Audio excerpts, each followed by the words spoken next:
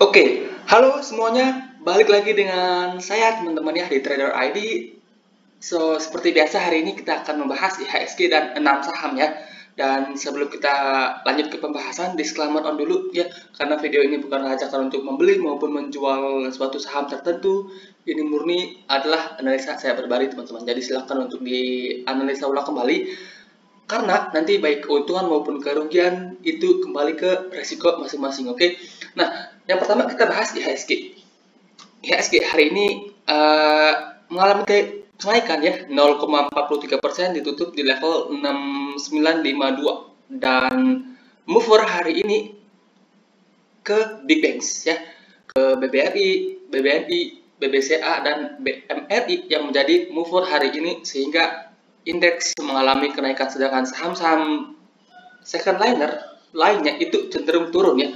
Jadi buat teman-teman yang mungkin nggak punya salah satu dari saham big banks itu sahamnya hari ini mungkin stagnan atau cenderung turun teman-teman ya. Nah, uh, untuk next ya mungkin ya mungkin eh, IHSG akan kembali break high kemudian turun lagi atau gimana saya juga masih masih belum pasti ya IHSG akan mau ke mana untuk jangka pendeknya tapi untuk untuk tahun ini ya saya masih masih percaya indeks itu akan break 7000 dan target terdekat itu di 7200 itu view saya di tahun ini teman-teman ya untuk IHSG kalau perang di Ukraina itu udah mulai meredak tapi so far sampai saat ini ternyata perangnya masih masih uh, masih berlanjut teman-teman dan itu membuat saham-saham uh, indeks regional juga juga banyak yang merah teman-teman. So far sih indeks IHSG yang paling kuat ya. Nah uh, untuk sektoral sendiri ya buat teman-teman yang belum punya properti saham di sektor properti, menurut saya properti itu masih uh, sangat layak ya buat koleksi. Nah saham-saham properti itu sendiri udah pernah kita bahas banyak sekali. Yang pertama itu BSDE, kemudian SNRA, Pakuwon, udah kita bahas juga. Kemudian MMLP yang isunya akan ada tender offer, kemudian Asri juga udah kita bahas. Hampir-hampir uh, semua properti udah kita bahas dan hari ini properti uh, terbilang cukup kuat ya. Nah, uh, Oke, untuk sektoral sebenarnya yang menarik itu saja sih properti dan konstruksi beberapa. Kemudian untuk pembahasan hari ini saya akan bahas saham-saham di sektor energi yang beberapa sudah mencapai area demand teman-teman ya. Oke, yang pertama uh, saya akan bahas Indi.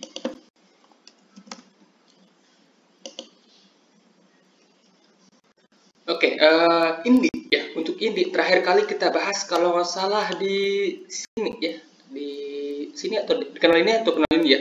Nah, waktu itu saya sarankan untuk perhatikan area support ini. Yang pertama di 2400 sampai 2300, kemudian berikutnya ada di trend line-nya ini di sekitaran harga 2200. Nah, per hari ini ya, ini itu udah nyentuh 2200 which is 2200 itu merupakan uh, area beli kalau menurut saya pribadi teman-teman ya. Nah, apakah layak untuk kita tadah di harga sekarang? Menurut saya sih uh, akan lebih baik ya, akan lebih baik kita menunggu konfirmasi sahamnya rebound teman-teman ya. Dan kalau kita perhatikan ya dari segi volume dia turun, itu udah mulai mengecil teman-teman. Jadi sebenarnya uh, ini itu udah mulai layak ya buat dimasukkan ke watchlist. Nah, area belinya gimana? Teman-teman untuk area belinya bisa nunggu dia confirm rebound ya terkonfirmasi rebound atau kalau mau nadah nangkap pisau jatuh besok kalau dia turun lagi teman-teman bisa mulai cicil range 2200 sampai last support di 1950 teman-teman ya jadi area 2200 sampai 1950 itu sekitaran 12%. Eh, jadi jadi cicilnya bertahap teman-teman, bertahap. Kemudian kalau dia rebound teman-teman bisa averaging up di situ. So far sebenarnya uh, masih oke okay, sebenarnya kalau dari view saya ya untuk saham-saham di sektor energi sebenarnya masih oke. Okay. Ini turunnya wajar karena kenaikannya sudah over banget ya. jadi ya masih ada ruang untuk naik kalau dari view saya pribadi oke uh, itu untuk ini ya untuk ini jadi strateginya gimana sesuaikan dengan risk management masing-masing kalau mau nunggu rebound bisa tunggu dari rebound atau kalau mau cicil dari dari harga sekarang bisa tipis-tipis sampai 1950 ya. Itu range yang cukup lebar sih. Tapi menurut saya sih masih masih layak ya buat diperhatikan nih saham-saham uh, indie ini. Nah uh, mungkin setelah dia rebound ya nanti dia rebound dia nggak akan langsung naik teman-teman. Mungkin dia akan konsolidasi dulu dan itu akan sedikit membosankan ya saham-saham dalam dalam fase konsolidasi itu uh, membosankan teman-teman ya. Jadi buat teman-teman yang sabar bisa cicil dengan range tipis-tipis ya. Oke, uh, itu untuk indi teman-teman. Itu untuk indi. Kemudian berikutnya ada uh, saham doid. Doid hari ini, uh, ya hari ini saya udah mulai cicil doi dengan harapan saya ya dengan harapan saya kalau doi turun sampai sini saya akan beli lagi ya. Di sekitaran 350 sampai 344 kalau doi turun sampai situ saya akan beli lagi. Nah kenapa saya beli doi karena doi itu akan buyback mungkin sudah ya. Uh, isunya buyback saham. Dan biasanya saham yang setelah buyback itu biasanya ya nggak selalu. Itu potensi akan kembali menunjukkan kenaikan. Doi koreksi sampai sini itu wajar banget teman-teman ya karena kenaikannya udah over kenaikannya udah kenceng banget kemudian di sini dia nyentuh resisten dan habis itu turun. Ini wajar teman-teman ini wajar dan harga sekarang sebenarnya menurut saya cukup cukup menarik ya untuk dicicil. Tipis-tipis sampai uh, 350 beberapa tik kalau doi close di bawah 350 baru teman-teman bisa pasang stop loss di situ. So far sih menurut saya ini masih cukup oke, okay, masih cukup layak buat diperhatikan. Nah, harapan saya eh harapan saya di sini dia konsolidasi membuat handle baru.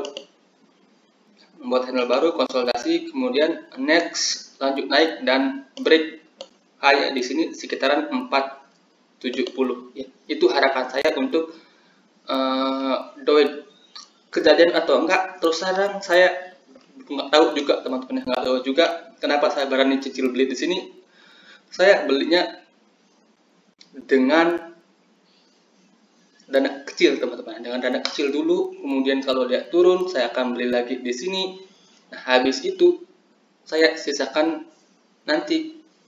Kalau dia confirm rebound kalau dia close di bawah ini maka itu artinya saya fail teman-teman. Akan saya cut loss. Oke. Okay. uh, eh, itu view saya untuk doit teman-teman. Jadi se sebenarnya kalau dari view saya doit ini masih cukup menarik buat diperhatikan. Oke. Okay. nah kemudian habis itu ada TAPG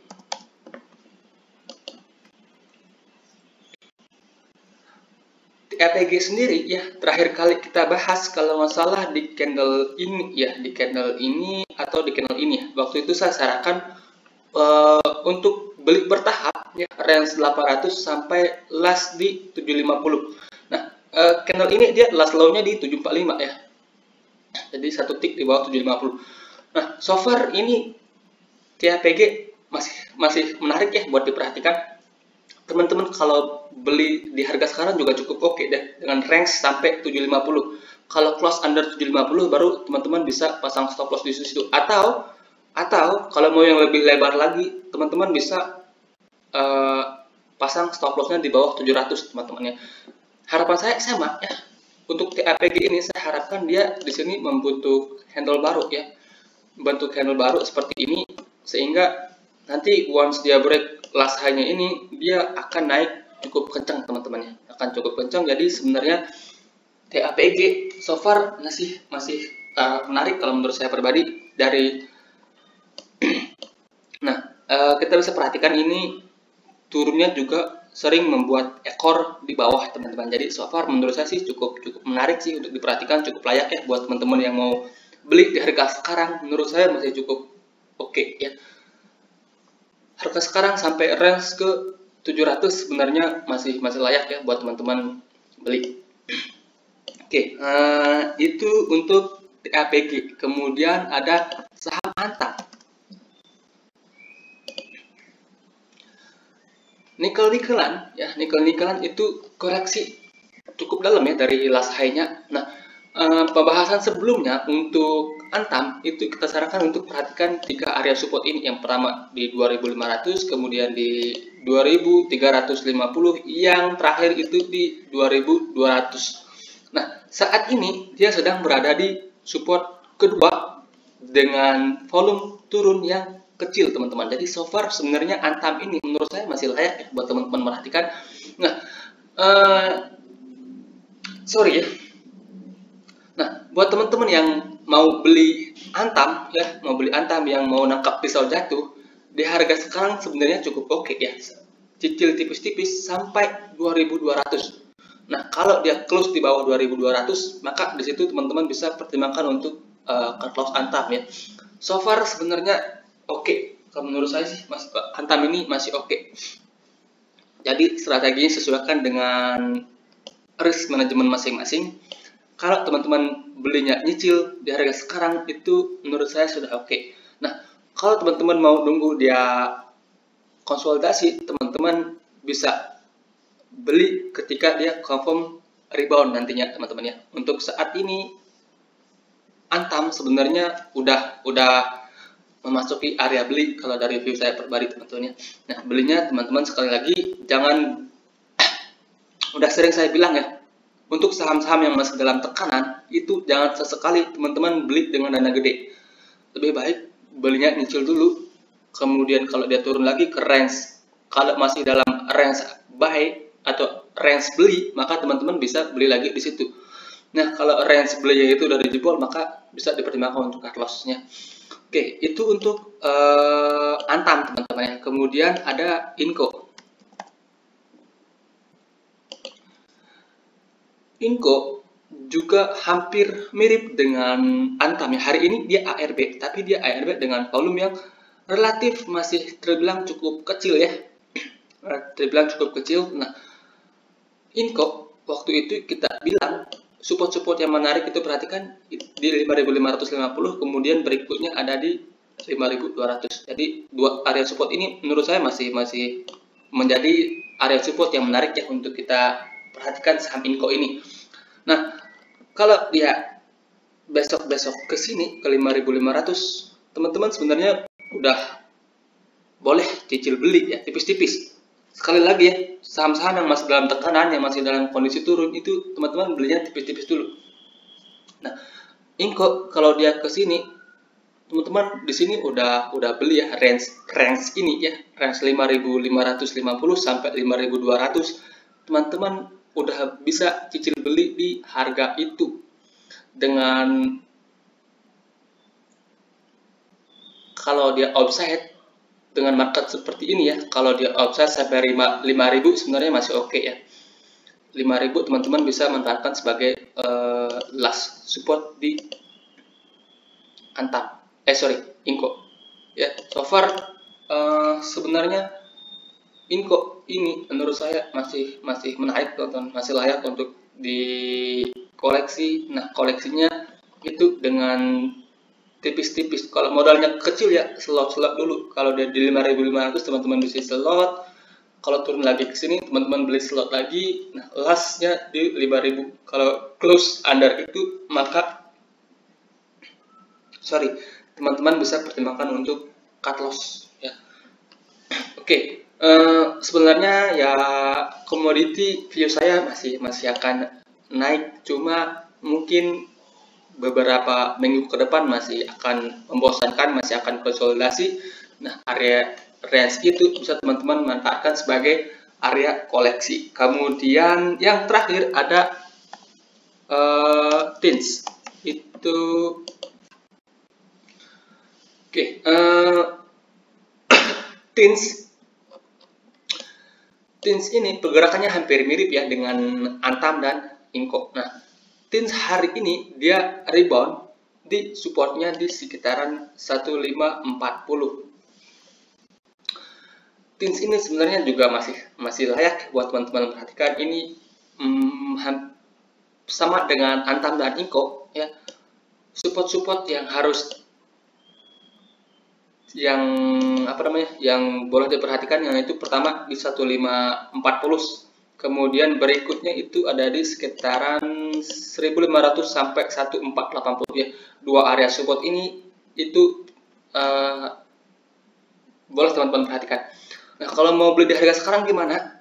Kalau mau beli di harga sekarang itu seperti antam dan ingkok tadi ya teman-teman ya. Belinya dengan range yang tipis-tipis. Contoh ya contoh teman-teman mau masuk masuk saham ini atau ingkok tadi atau antam tadi 10 juta teman-teman. Teman-teman bisa beli di harga sekarang itu 2 juta dulu ya 2 juta dulu. Kalau dia turun lagi ke sini teman-teman bisa average di sini 3 juta. Nah kalau dia turun lagi ke sini maka di sana teman-teman bisa beli lagi ya. Di sana teman-teman bisa beli lagi mungkin 3 jutanya atau 2 juta dulu. Sisanya teman-teman manfaatkan averaging up kalau dia confirm rebound ya itu buat strategi. Kalau teman-teman mau nadah suatu saham yang lagi turun ya. So far sih ini oke okay, ya. Hari ini dia volume gede karena dia sempat rebound di ada support. Kalau kita time frame yang lebih kecil ya 15 menit. Nah sebenarnya uh, volume-volume gedenya itu pas dia rebound. Di sini pas dia rebound volumenya gede. Kemudian di sini dia rebound di area bawah ini volumenya gede. Jadi so far sebenarnya tins oke okay, ya. Tins layak untuk diperhatikan. Kalau mau beli lamsam di harga sekarang itu menurut saya cukup beresiko sih. Cukup beresiko jadi akan lebih baik ya. Dijual cicil kalau dia naik maka teman-teman bisa averaging up bertahap teman-teman ya. Oke. Okay. uh, eh, itu untuk tins tadi ya. So far masih masih menarik sih kalau menurut saya untuk Teens dan Inko Antam juga sebenarnya cukup cukup oke okay untuk diperhatikan tapi untuk saat ini belinya bertahap dulu ya karena sahamnya masih dalam tekanan. Oke okay.